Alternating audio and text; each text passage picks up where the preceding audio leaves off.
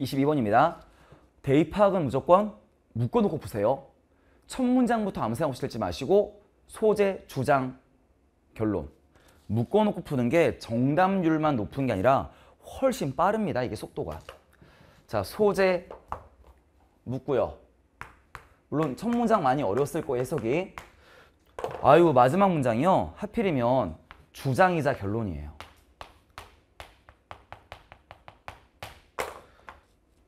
그러나 나 중간에 읽지 말라고 한 적 없습니다. 읽을 겁니다. 편하게 한 번만.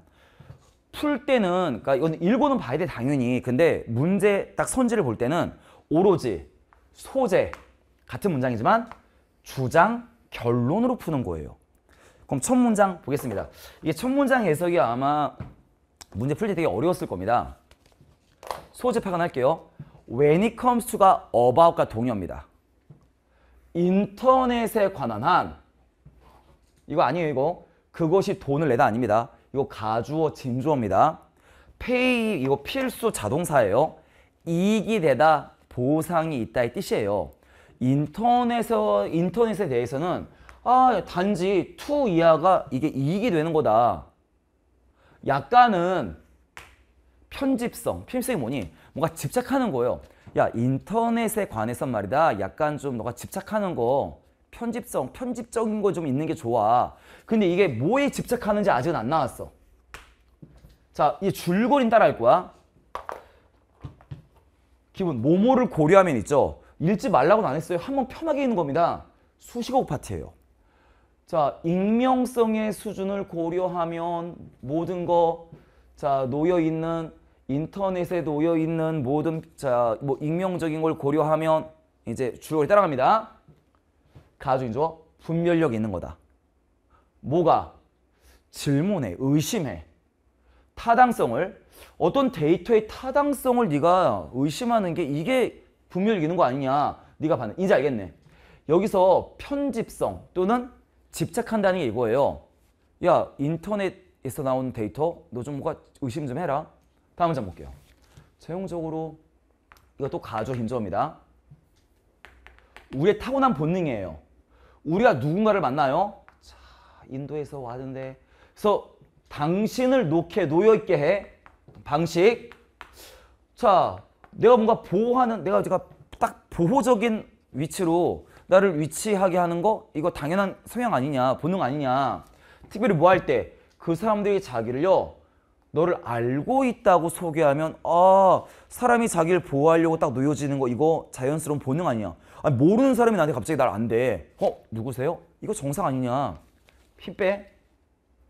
이거 고의로야 그러니까 복습을 할 때 외우는 건 맞는데 고의로 일부러 수식어 구해요. 한번 이거 넘기는 거예요. 몰랐어도 푸는 이상 없습니다.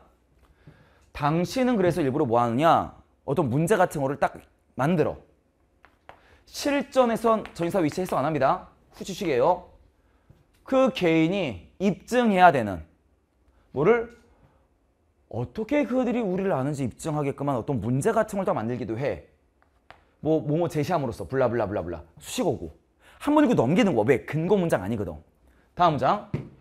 일단 우리가 그 정보를 받고 그것이 이것이 통과를 해요.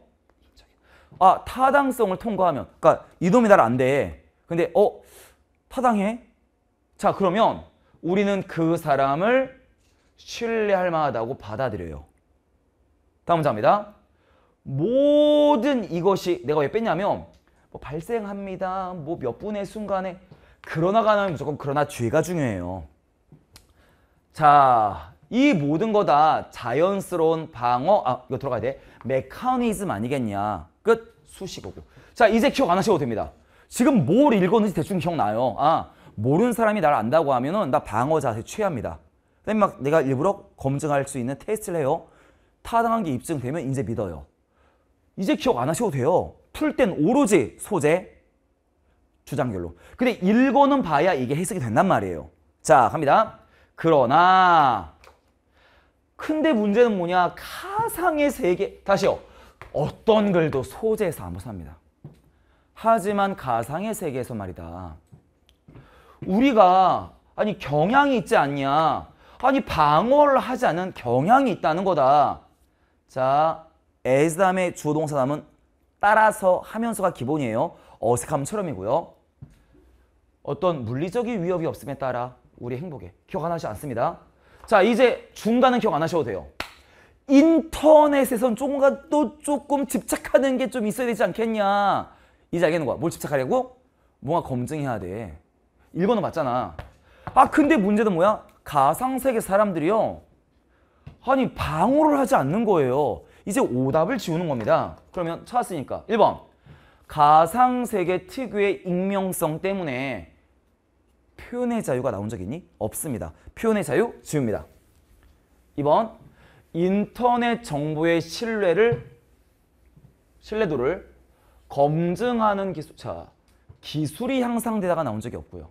3번 가상 세계에서는 현실 세계와 달리 자유로운 정보 정보 공유가 이 글의 주제일까요? 아니요. 인터넷에도 좀 집착 좀 하자. 왜 인터 결론이자 주장? 아니 왜 인터넷은 널 방어하지 않냐? 근데 이거 뭐야? 정보 공유 하자가 아니에요. 5번 안전한 인터넷 환경 구축의 보안 프로그램 만들자? 나온 적이 없어요. 보안 프로그램이. 5번입니다. 방어 기제가 덜 작동하는 가상세계에서 신중하게 좀 검증 좀 하자. 이게 제일 가깝단 말이야. 풀 땐 오로지 소재 주장 결론. 묶어놓고 푸는 거예요.